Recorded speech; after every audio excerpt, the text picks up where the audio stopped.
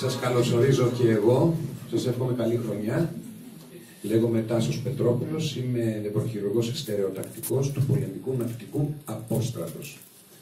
Καλή χρονιά σας εύχομαι, υγεία, ευτυχία, χαρά, γέλιο. Τα χρειαζόμαστε όλα αυτά στη ζωή μας για να νιώθουμε καλά. Επίσης, αγαπητέ. Να είστε καλά, να είστε καλά. Ευχαριστώ πάρα πολύ. Θα προσπαθήσω και εγώ να βάλω το πετραδάκι μου, να σας βοηθήσω όλοι μαζί, εσείς με τις ερωτήσεις σας, εγώ με αυτά που θα σας πω, να διώξουμε τους δαίμονες που περιτριγυρίζουν γύρω-γύρω όλη την κάναβη, αυτό το υπέροχο φυτό που οι αρχαίοι το λέγανε θείο δώρο, οι οποίοι αρχαίοι βέβαια μάλλον είχαν περισσότερο μυαλό από εμάς. Ε, δεν θα μείνω εδώ. Ο κύριος ε, Βασίλειος Σχέτος, ο φίλος μου, σας μίλησε για, τις ε, δύο, για τα δύο είδη στην ουσία του γένους της κάναβης, σατίβα και ίντικα. Η ίντικα βγάζει την ψυχοτρόπου ουσία, τη δέλτα 9 τετραίδροκαναβίδιολη, η σατίβα η ήμερη ή αλλιώς κλωστική ή αλλιώς ε, βιομηχανική κάναβη βγάζει το CBD. Αγγλικά cannabidiol, ελληνικότατα cannabidiol. Η κάναβη είναι ένα φυτό το οποίο έχει ουσίες δραστικές μέσα που τις ονομάζουμε καναβιδοειδείς. Είναι πολλές αυτές, πάνω, πάνω από 100. Το ένα είδος βγάζει μία ουσία σε πολύ μεγάλη περιεκτικότητα που είναι η ψυχοτρόπος, την αφήνουμε, το άλλο φυτό βγάζει την ουσία την καναβιδιόλη σε πολύ μεγάλη περιεκτικότητα που δεν είναι ψυχοτρόπος. Όλες οι ουσίες είναι θεραπευτικότατες. Όλες. Και γύρω-γύρω από τις ουσίες αυτές υπάρχουν άλλες ουσίες στα φυτά που λέγονται φαινόλες, λέγονται τερπένια, λέγονται φλαβονοειδείς ουσίες, κερί, ξέρω χλωροφύλλι, όλα αυτά είναι γύρω-γύρω. Σας το λέω γιατί θέλω να σας μείνει αυτό, έχει πολύ μεγάλη σημασία η χρησιμοποίηση όλου του εκχυλίσματος του φυτού, διότι έχει αποδειχθεί με έρευνες ότι γίνεται καλύτερη α, λειτουργία απορρόφησης αλλά και διαχείρισης όταν εμείς βάζουμε μέσα στον οργανισμό μας όλο το εκχύλισμα του φυτού. Όχι μόνο την καναβιδιόλη απομονωμένη. Πριν σας μιλήσω για το μηχανισμό δράσεως που μόνο αυτό θέλω να σας μείνει και να το θυμάστε όταν θα φύγετε, μόνο το μηχανισμό δράσεως, τίποτα άλλο, να σας ανοίξω μια μικρή παρένθεση. Η ομοιόσταση. Τι είναι ομοιόσταση που θα έχει σχέση μετά θα δείτε η κάναβη με αυτήν και τι είναι και το νοσοποιητικό σύστημα. Με δύο λόγια μόνο όπως να σας κουράσω η ικανότητα του οργανισμού να διατηρεί σταθερές οι συνθήκες του εσωτερικού του περιβάλλοντος παρά τις εξωτερικές μεταβολές. Τι σημαίνει αυτό; Να τι σημαίνει; Η θερμοκρασία του σώματος πρέπει να είναι σταθερή. Δεν μπορεί να κάνει 40 βαθμούς καύσωνα έξω και εμείς να είμαστε μέσα με 40 βαθμούς. Δεν θα μπορούσαμε να ζήσουμε. Συγκέντρωση της γλυκόλης στο αίμα. Συγκέντρωση του νερού. Το πέχα του αίματος, το οποίο πρέπει να είναι σταθερό, δεν έχει διακοιμάσει τρομακτικές στο pH και τα επίπεδα του CO2. CO2 είναι το διοξείδιο του άνθρακο στο αίμα μας. Το ανοσοποιητικό σύστημα, το όλοι το ξέρετε. Είναι το σύστημά μας, ο στρατός μας. Να πολεμάει τους εχθρούς. Ποιοι είναι οι εχθροί, Μικρόβια είναι οι εχθροί, οι ιοί είναι οι εχθροί, παράσιτα είναι οι εχθροί, πολλοί είναι οι εχθροί. Και το ανοσοποιητικό σύστημα είναι σύστημα οργάνων και βιολογικών μηχανισμών υπεύθυνο για την άμυνα του οργανισμού μέσα μας όλα τα έμβια όντα του ζωικού βασιλείου, άρα και ο άνθρωπος. Μέσα μας έχουμε ένα σύστημα υποδοχέων, φανταστείτε τα κυπελάκια υποδοχής. Στην ουσία υπάρχουν πολλά συστήματα υποδοχέων που κάνουν διαφορετική δουλειά το κάθε, σύστημα, έτσι. Υπάρχει λοιπόν ένα σύστημα υποδοχέων που δεν το ξέραμε. Το, το βρήκαν αυτό το πράγμα τη δεκαετία του 80 προς 90. Είναι πολύ πρόσφατο το οποίο σύστημα υποδοχέων έχει να κάνει με την ομοιόσταση και το ανοσοποιητικό μας. Δύο βασικότατες λειτουργίες που άμα δεν γίνονται σωστά αυτές οι λειτουργίες δεν μπορεί να ζήσει το έμβιο. Μπαινοβγαίνουν διάφορες ουσίες στους υποδοχείς, η δουλειά γίνεται εδώ μέσα, μπαινοβγαίνουν ουσίες και είναι τόσο όμορφα δημοκρατικό, δημοκρατικά φτιαγμένο το σύστημα μέσα στον οργανισμό μας, που δεν κάνουν ό,τι θέλουν αυτές οι ουσίες. Υπάρχουν άλλες ουσίες απ' έξω που βάζουν χαλινάρι. Και λένε: Οκ, τώρα τέλειωσε η δουλειά σου, κάτσε ήσυχα. Για να λειτουργεί καλά αυτό το σύστημα, θα πρέπει να ζούμε σε έναν ιδανικό ε, τόπο, σε ένα ιδανικό κλίμα, ε, με ιδανικές συνθήκες μεταξύ μας, για να είμαστε υγιείς. Δεν είμαστε υγιείς αγαπητές μου και αγαπητοί μου, ε, είτε σωματικά είτε ψυχικά είτε και τα δύο. Πάσχουμε όσο ζούμε μέσα σε τέσσερις τύπους μπροστά σε ένα κομπιούτερ και οδηγούμε ένα αυτοκίνητο. Πάσχουμε όλοι, κατά ψέματα. Λοιπόν, το σύστημα αυτό λοιπόν έχει να κάνει με την ομοιόσταση, έχει να κάνει με το ανοσοποιητικό μας. Τι βρέθηκε λοιπόν τη δεκαετία, είπαμε το 80 90, βρέθηκε ότι η κάναβη, το φυτό, έχει μέσα τις ουσίες του, που τις ονομάζουμε καναβιδοειδείς, και είναι οι μοναδικές ουσίες σε όλο το φυτικό βασίλειο, που δρούν σε αυτό το σύστημα των υποδοχέων. Το οποίο βέβαια πήρε το όνομα τη και από την κάναβη και το ονομάσαμε ένδο, μέσα μας, ένδο καναβιδοειδές. Δεν λειτουργεί λοιπόν σωστά, το βοηθάμε εμείς με την κάναβη, με το CBD που χορηγούμε, να λειτουργήσει σωστά. Τι κάνουμε; Σκεφτείτε το, είναι φοβερό, φανταστικό αυτό που κάνουμε. Βοηθάμε τον ίδιο μας τον οργανισμό να αντεπεξέλθει, να έχει δικές του δυνάμεις και να πολεμήσει ο ίδιος.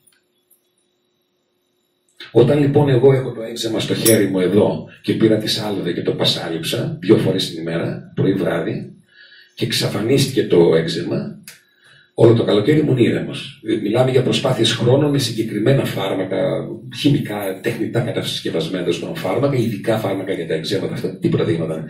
Όταν το έκανα λοιπόν εγώ, τι έκανα, βοήθησα το δέρμα μου να αντεπεξέλθει στο, στο κακό. Το κακό ήταν το έξεμα. Τώρα λοιπόν που ήρθε ο χειμώνας και είναι και λίγο εποχιακό και ξανά άρχισε να εμφανίζεται, ξανά, αληθούλα.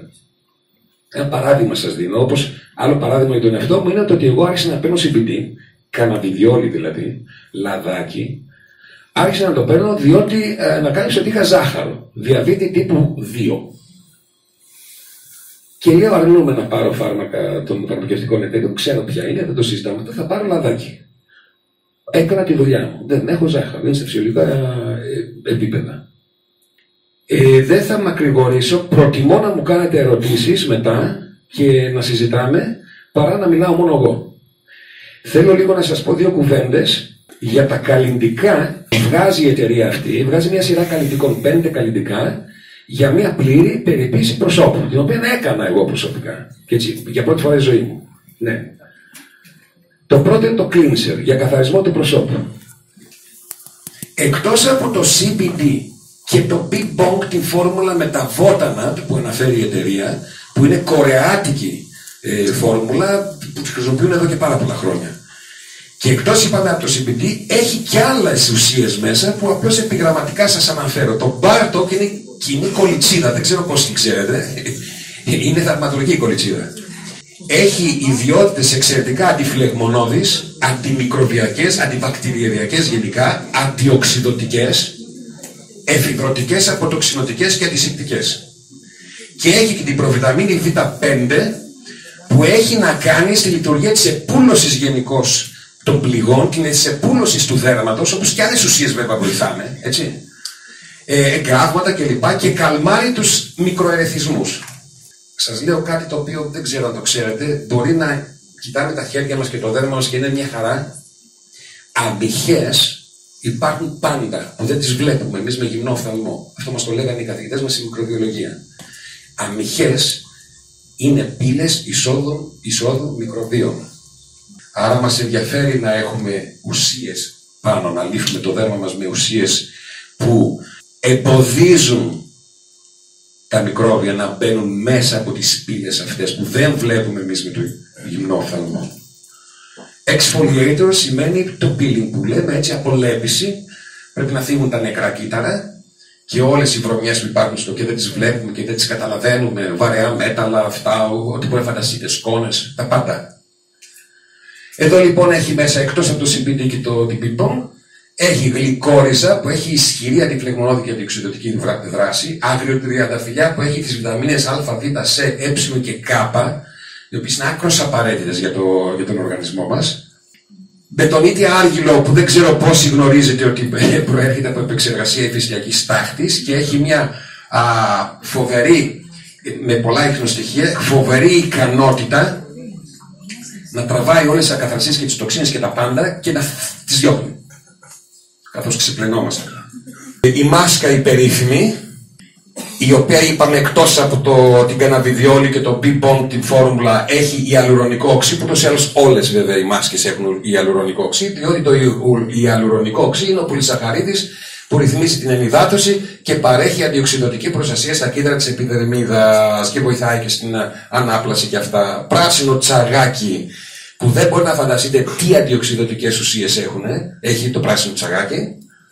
Το σέρουμ είναι ο περίφημος ορός, για να ανοίξουν οι πόροι, για να απορροφηθεί καλύτερα το καθαρισμένο πια δέρμα με τους ανοιχτούς πόρους, απορροφά καλύτερα την, την αλυφούλα, την υδατοτική, η λευκή πεωνία, ένα φοβερό, ο, πανέμορφο λουλουδάκι, από το οποίο βγαίνουν, παίρνουμε πάρα πολλές ουσίες από τον καρπό του, ε, που έχουν ισχυρή αντιβακτηριακή δράση. Το αίμα του δράκου, ψάξτε το στο Ιντερνετ, έχει πάρα πολύ μεγάλο ενδιαφέρον. Λέγεται έτσι διότι άμα πάρεις τα παιδιά τον κορμό, τον κόψεις και αυτά αρχίσει και βγαίνει ένα ζουμί κόκκινο. Έχει αντιοξυδοτικές ιδιότητες, καταπολεμά τα σημάδια της γύρανσης του δέρματος και προστατεύει από βλάβες. Ξεφοριάζει ουλές, ραγάδες κλπ. κλπ που κατησά τον τόνο. Το ακέτηλο εξαπεπτίδιο 8 είναι η αργυρελίνη, έχει την, αυτό να το ξέρετε, γιατί οι άλλες ε, κρέμε γενικώς που κυκλοφορούν στον πλανήτη δεν έχουν ε, οι περισσότερες ακέδηλο εξαπεπτήριο. Αυτό δεν προάγει τη σύνθεση του κολαγόνου, που υπάρχουν βέβαια ουσίες που βάζουμε στο δέρμα μας για να γίνει προαγωγή του, του, του κολαγόνου. Ελαττώνει το μυϊκό τόνο με αποτέλεσμα τη χαλάρωση των μειών. Όταν χαλαρώνουν οι μύες του, οι του προσώπου, ε, απαλύνονται οι ρητίδες. Έξω και πάμε και κάνουμε box. Σωστά. Moisturizer είναι η τελευταία αυτή που βάζουμε είναι εδώ. Και έχει το ginseng, γνωστό και με ξέρετε τώρα. Τι να πω για το ginseng, όλοι το ξέρετε. Ισχυρή αντιγυραντική δράση, ενυδατική και αναπλαστική. Και έχει και τον αριστερά της βιταμίνης C, είναι η ασκορδική παλμιτάση. Τι κάνουμε, παίρνουμε τη βιταμίνη C, το ασκορδικό οξύ, το παντρεύουμε με παλμιτικό οξύ που παίρνουμε από το λάδι του φοινικά, γιατί; Γιατί η βιταμίνη C είναι ύδατο διαλυτή. Οπότε, άμα την πασαλείψουμε με το χέρι μας με το πρόσωπο με βιταμίνη C, δεν θα απορροφηθεί οι περισσότεροι.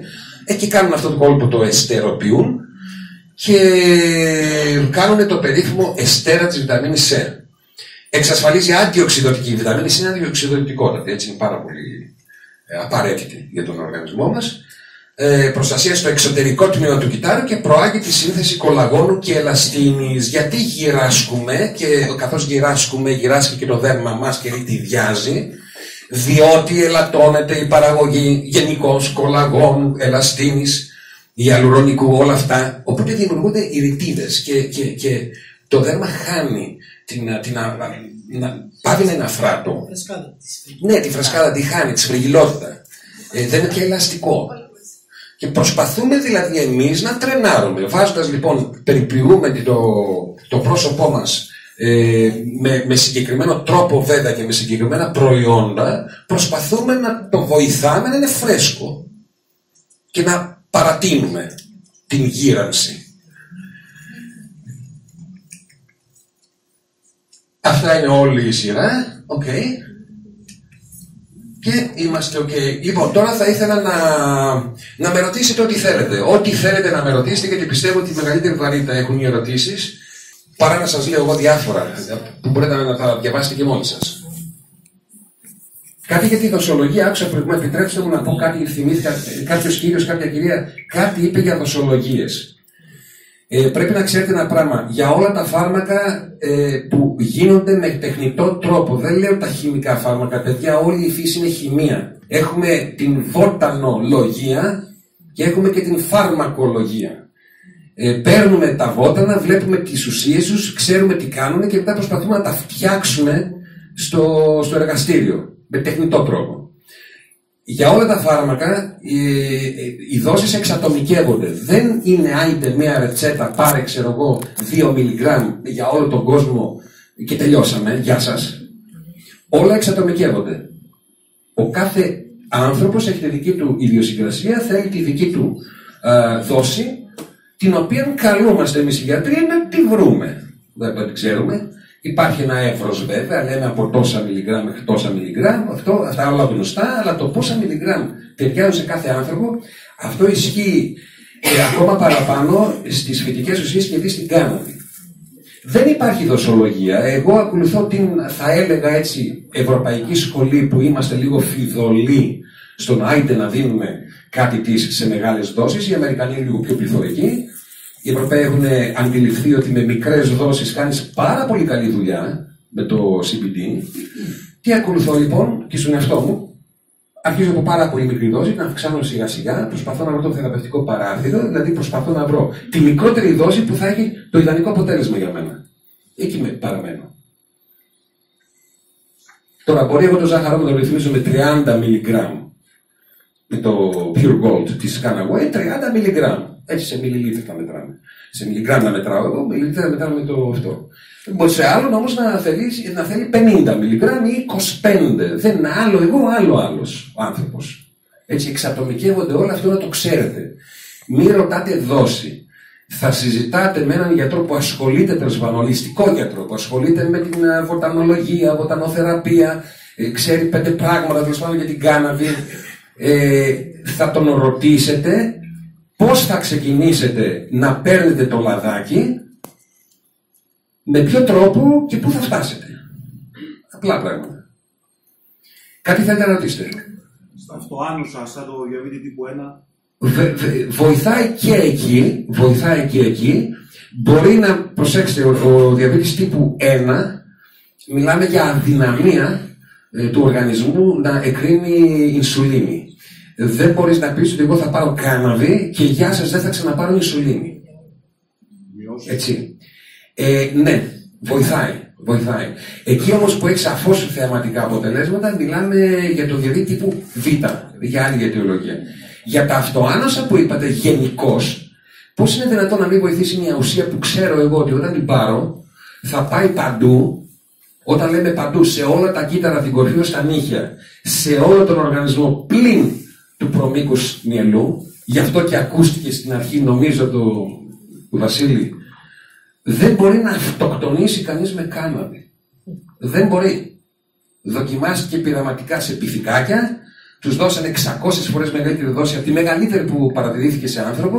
Φαντάζομαι εγώ θα πέσανε για ύπνο κάμια εβδομάδα και ξυπνήσαμε στην τρελή χαρά και αποδείξε και, και, και δεν μπορούσαν να το εξηγήσουν. Ε. Γιατί δεν μπορεί, ρε παιδί Μελετήσαν λοιπόν με ηλεκτρονικό μικροσκόπιο, φαντάζομαι, και μοριακές μεθόδους ε, μοριακή βιολογίας. Μελετήσαν την, το προμήκη, το στέλεχο δηλαδή, το, το, το τμήμα του εγκεφάλου, ένα μαρκουτσάκι σαν το δάχτυλό μου που ενώνει τα δύο ημισφαίρια τα κεφαλικά με το νοτιό μυελό και περνάνε τα πάντα από εκεί.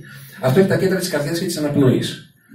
Άμα πάρω λοιπόν εγώ δύο, τρία κουτάκια, τέσσερα, δεν ξέρω πόσα πρέπει να πάρω, Valium, θα πεθάνω θα, θα μπορώ να αυτοκτονήσω με βάλιο. Με κάναβη, είτε από το ένα φυτούλι, είτε από το άλλο, από όποιο θέλετε, δεν μπορώ. Γιατί δεν υπάρχουν υποδοχή εκεί. Έτσι και δεν δρά άμεσα. Ρωτήσω ε, για άτομα που παρουσιάσουν αλλεργίες σε ό,τι φυτικό. Ε, υπάρχει πρόβλημα. Κυρία μου, θα σας πω το εξής. Πρώτον, για να, για να καταλάβετε δηλαδή ποια είναι η απάντηση. Πρώτον, οποιαδήποτε ουσία στον πλανήτη δεν έχει σχέση με, τον, με τους ιστούς μας θεωρείται αλλεργιογόνο, έτσι λέγεται. Γι' αυτό λοιπόν αν ε, πολλοί θα αναρωτιέστε γιατί πια δεν βλέπουμε να γράφουν αντιαλλεργικά προϊόντα και γράφουν υποαλλεργικά για νομικούς λόγους; Ε, δεν υπάρχει αντιαλλεργικό προϊόν. Όλα θεωρούνται αλλεργιογόνα. Αν σας πω λοιπόν ότι ευτυχώς σπάνια, αλλά έχει παρατηρηθεί, εξωγενείς, δηλαδή εμείς οι γιατροί, να χορηγήσουμε κορτιζόνη, που είναι ορμόνη που τη βγάζουμε, δεν, δεν μπορεί να ζήσουμε χωρίς κορτιζόνη, και να κάνει αλλεργία ο ασθενής στην κορτιζόνη, και να έχουμε πρόβλημα δηλαδή, αν σας πω αυτό το πράγμα, καταλαβαίνετε ότι οποιαδήποτε ουσία δυνητικά μπορεί να είναι αλλεργική. Άλλες είναι ύπο, όντως, άλλες δεν είναι ύπο, είναι ισχυρά αλλεργικές. Εγώ προσωπικά, επειδή παρακολουθώ ασθενείς με σοβαρά προβλήματα και καρκίνους και αυτά τέλος πάντων, ε, δεν έχω δει αλλεργία τέτοια που να με αναγκάσει να πω το διακόπτης. Θα σας φέρω ένα παράδειγμα πολύ χαρακτηριστικό. Ε, με αυτή τη σάλβα που θεωρώ θαυματουργία έχω κλείσει ε, τραύματα τα οποία πιωροούσαν κακοφορμισμένα σε έδαφος όπως λέμε τέλος πάντων όχι πολύ γερό, σε ένα δέρμα ασχήμο, κακοποιημένο, ακτινοβολημένο. Καταλαβαίνετε δύσκολες καταστάσεις. Λοιπόν, την οποία έβαζα και μέσα στο τραύμα, δηλαδή, χωρίς φόβο και πάθος. Ε, με παίρνει έντρομη η κοπελιά τηλέφωνο και μου λέει κύριε Τάσο, κύριε Τάσο, κα, κατα, έγινα κατακόκκινη από πίσω ε, αυτά είναι λέω εντάξει, μην πάνε κοπάλε κατά κοπά. Και, και, και, και, τι πες μου κι άλλα, ρε παιδί μου, να δω τι έγινε. Α, έκλεισε, λέει, ξέχασα να σου το πω. Έκλεισε αυτό. Λέω πρώτα αυτό λένε και μετά το άλλο. Αυτό θέλω να σας πω. Αλλεργία δεν έχει παρατηρηθεί τέτοια που να έχω ε, μπροστά μου άνθρωπο με αλλεργικό σοκ. Άμα βάλετε αυτές τις κρέμες, σας λέω γιατί εγώ τις έβαλα. Έτσι, κάθισα σε μια φίλη που μου έκανε περιποίηση προσώπου τα πάντα καίνε αυτές οι ουσίες είναι πολύ ωραίες. Γιατί, γιατί κάνουν υπεραιμία, δημιουργούν ένα κάψιμο άλλοτε άλλο, δηλαδή εμένα δεν με ενόχλησε το κάψιμο, σε μια φιλενάδα που ήταν δίπλα μου ε, την ενόχλησε. Ε, OK. Okay. Πέρασε μέσα σε ένα πεντάλεπτο, κάψιμο και ερυθρότητα. Σημαίνει υπερεμία, Άρα λέω εγώ χάρηκα. Αλλά το προϊόν δουλεύει από μόνο του. Δεν χρειάζεται τώρα να κάθεται η κοπελιά από πάνω και να με το μασάζ, με ένα τέταρτο, σε ένα πεντάλεπτο είχαμε τελειώσει. Δούλεψε από μόνο το προϊόν. Σε ένα πεντάλεπτο εγώ ηρέμησα και υπάρχουν ουσίες που προκαλούν αυτό το κράψιμο. Δεν βάλει, έχετε βάλει ποτέ στη μέσα σε ένα έμπλαστρο λέοντος, ένα, ένα, μια λιφούλα τέλος πάντων, η οποία θερμαίνει, επίτηδες θερμαίνουμε την περιοχή για να κάνει υπερεμία. Μπορώ να πω μια εμπειρία. Ναι. Ε, ε, σε, Μπορεί να χρησιμοποιηθεί άφοβα ακόμα και σε αιμορροίδες. Σταματάει αυτό στιγμή τη φαγούρα, το πόνο, το τσούξιμο, τα πάντα. Η κρέμα, η, σάλβα. Είναι θαυματουργή. Ναι. Αν πονάτε από αιμορροίδες, δοκιμάστε το. Ευχαριστώ. Συγχαρητήρια Εγώ ακόμη δεν έχω ξεκαθαρίσει για κάποιον που θα τον βάλω για πρώτα φορά στην κάναβη, ανεξαρτήτως πάθηση, τον χρόνο ημιπερίοδο ζωής. Δηλαδή, ξεκινάω μία φορά, δύο σταγόνες ή τρεις το πρωί και τέρμα την άλλη μέρα. Μπορώ να πάω σε μεσημεριανή δόση, μπορώ να πάω σε βραδινή δόση, γιατί από το κυκλοφοριαράκι που κυκλοφορεί και βλέπω ότι έχει διαφορετική αντιμετώπιση. Είστε έχετε απόλυτο δίκιο. Να σας πω κάτι πρακτικό που πάλι έχει σχέση με μένα. Εγώ λοιπόν όταν άρχισα να παίρνω το λαδάκι της κάναβης για το ζάχαρο, πέστε το έκανα το λάθος, δεν το ήξερα, το πήρα 8 ώρα το βράδυ. Κάτω από τη γλώσσα. Μετρούσα πρόβατα όλο το βράδυ. Ένα, δύο, τρία, πού θα πάει τώρα, βέβαια. Την άλλη μέρα, βέβαια, αν θέλω να είμαι σωστός, λέω: Κοίταξε, για να αποδείξει ότι στο κάνει η κάναβη, ε, θα πρέπει να το ξαναπάρει αυτό το πράγμα. Ξαναπάρτε με 8 η ώρα να δούμε τι θα γίνει. Ξανά πρόβατα όλη θα λέω: Εντάξει, δεν είμαι και χάζο, τι παίρνω το πρωί. Πώς θα μου πήρατε. Εγώ, εγώ ξεκίνησα με άλλο προϊόν, πολύ πιο παλιά από την Ghana αυτό. Ξεκίνησα με άλλο προϊόν και επειδή ξεκινάω πάντα με όλους τους ανθρώπους με τη μικρότερη δόση, ξεκίνησα στον εαυτό μου με 5 μιλιγκράμμ. Αυτή τη στιγμή με το λάδι της Κάναγουε παίρνω α, ένα μιλιλίτρα και 8,33 μιλιγκράμμ. Εγώ παίρνω 4 μιλιλίτρα. Μετρημένα με την σύνδικα του ml. 4, 3, 4, 12, 4, περίπου 33 περίπου, ρε παιδί μου, 33 μιλιγκράμμ παίρνω εγώ και δίνω έμφαση τώρα γιατί το θυμήθηκα, δεν ξεκίνησα με, με, με, με τη σχολή τέλος πάντων που λέει Α, ποιο είναι το μισό του βάρους σου, τόσο. Ξεκίνα με τόσα μιλιγκράμμ. Το, εμένα το μισό του βάρους μου τότε ήταν 45 κιλά, ήμουν 90. Θα μπορούσα λοιπόν να ξεκινήσω με 45 μιλιγκράμμ. Όχι, χαζό είμαι. Με, ένα με 5 μιλιγκράμμ ξεκίνησα. Σιγά σιγά, μία φορά την ημέρα, διότι ήθελα να κοιμηθώ το βράδυ. Εγώ δεν το παίρνω δύο φορές. Δεν είναι κακό να το μοιράζουμε. Αλλά εγώ δεν τα παίρνω δύο φορές να κάνω τώρα. Ήθελα να κοιμηθώ το βράδυ. Μου δίνει ενέργεια. Και προσέξτε κάτι χαρακτηριστικό, συγχωρέστε με, πρέπει να το πω έτσι, γιατί αυτή είναι η έννοια του. Συγκεκριμένη δόση από το ίδιο μπουκάλι πήρα εγώ, δεν κοιμήθηκα. Συγκεκριμένη δόση από το ίδιο μπουκάλι πήρε η γυναίκα μου και είχε τον καλύτερο ύπνο. Γιατί; Διότι η κάναβη μέσα μας κάνει ό,τι θέλει αυτή Και αρχίζει και λειτουργεί σε διάφορα επίπεδα και βοηθάει πρώτα εκεί που θέλει αυτή να βοηθήσει πρώτα. Ξατομικεύονται τα πάντα. Ε, Ποιος έχει σειρά, η κυρία, συγχωρέστε την κυρία έχει σειρά και μετά εσείς. Ε, αυτό που είπατε, γιατί έχω κάνει μια μελέτη Ναι. που για τις αϊθμίες κάνει πολύ καλή δουλειά. Ναι. Άνθρωποι που έχουν ε, είναι σε πολλά χρόνια με τα Ζάναξ, με τα ηρεμιστικά, με αυτά, είναι με κόκκινη γραμμή και έχουν ερεθιστεί. Σε αυτή την περίπτωση, πώς γίνεται μια σωστή ε, Νομίζω θα παντρέψουμε την α, ερώτησή σας με μια άλλη ερώτηση κυρίας ή κυρίου που είπε τι γίνεται αν παίρνει άλλα φάρμακα πώς μπορεί να το... γενικό, τι γίνεται γενικώς. Πρώτον, δεν λέμε ποτέ σε έναν ασθενή ε, τι φάρμακα, κόψτα. Παγορεύεται. Ξεκινάμε με κάναβη η οποία κάναβη σε συγκεκριμένες περιπτώσεις και σε μεγάλες δόσεις προσέχουμε ορισμένα πραγματάκια με την πήξη του αίματος, με το αυτό, ορισμένα πραγματάκια είναι λεπτομέρειες που αφορούν τους γιατρούς και σε μεγάλες δόσεις. Ε, δίνουμε κανονικά την κάναβη, μπαίνει στο κορμί, βοηθάει στη σωστή λειτουργία της ομοιόστασης, της ισορροπίας των αντιθέτων και της, ε, του ανοσοποιητικού. Περιμένουμε να δούμε το πρόβλημα να αρχίσει σιγά σιγά να φεύγει, χαιρόμαστε όταν αρχίζει και φεύγει και μετά λοιπόν αρχίζουμε, τουλάχιστον εγώ έτσι κάνω, και ασχολούμαι με την ελάττωση ένα-ένα, έτσι, όχι όλα μαζί, των φαρμάκων που παίρνει. Ε, χαρακτηριστικό παράδειγμα, ας χρησιμοποιήσω λίγο την ειδικότητά μου σαν νευροχειρουργός, μια ζωή δύναμη και δύναμη τέλος πάντων, αντιεπιληπτικά φάρμακα.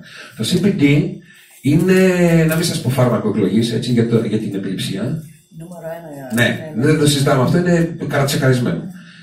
Ε, γνωρίζω παιδί που έπαιρνε τέσσερα φάρμακα αντιεπιληπτικά και έκανε επιληψίες. Βέβαια η συχνότητα είχε ελαττωθεί, αλλά έκανε. Και το βάζει η μαμά του στην κάναβη, δεν, δεν, τα, δεν τα πειράζει. Το βάζει στην κάναβη και σε μια εβδομάδα γεια σας οι επιληψίες. Οπότε τι κάνει μια ονιά στα κεραμίδια. Περιμένεις λοιπόν που κάποιο χρονικό διάστημα, περνάει, δεν έχει επιληψία στο παιδάκι, οπότε λέει η μαμά στον γιατρό, δεν τα τι τα κάνουμε, τα χρειάζεται. Τι κάνεις λοιπόν, αρχίζεις ένα-ένα με υπομονή και επιμονή και το ελαττώνεις και είσαι απίκου στον άνθρωπο. Για να δούμε τι θα γίνει. Συνήθως λένε ότι οι άνθρωποι που παίρνουν αυτά τα φάρμακα έχουν υποστεί κάποια κρίση πανικού και αυτό συμβάλλει σε μια δυσλειτουργία αρμονική Ναι. που έχει χάσει την ισορροπία. Θα βοηθήσει το CBD γιατί βοηθάει και στις κρίσεις πανικού. Ναι. Προσέξτε, θέλω να φύγετε και να θυμάστε το μηχανισμό δράσεως. Δεν μπορείς να δίνεις μια ουσία που πηγαίνει και βοηθάει στην ομοιόσταση των κυτάρων και να μην περιμένεις κάτι καλό. Αποτέλεσμα. Το δίνουμε στη σχι- σχιζοφρένεια. Το δίνουμε και στη μανία κατάθλιψη.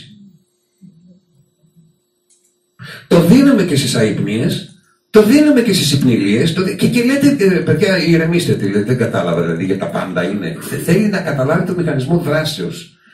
Σε μένα μου έδωσε ενέργεια, έπρεπε να έχω ενέργεια εκείνη, εκείνο το βράδυ, δεν ξέρω, μου έδωσε ενέργεια, δεν κοιμήθηκα. Η γυναίκα μου είναι υπερενεργητική, πιο ενεργητική από μένα. Σε βάλε χαλινάρι, της λέει, «Ωπ, νεαρά, εσύ πρέπει να κοιμηθείς. Η ίδια δόση από το ίδιο μπουκάλι. Η λέξη λέγεται προσαρμογόνο βότανο. Η λέξη λέγεται, ο Κύριος λέει προσαρμογόνο βότανο. του οργανισμού. Θες να σε ξυπνήσει, ξέρει ο οργανισμός. Μπράβο.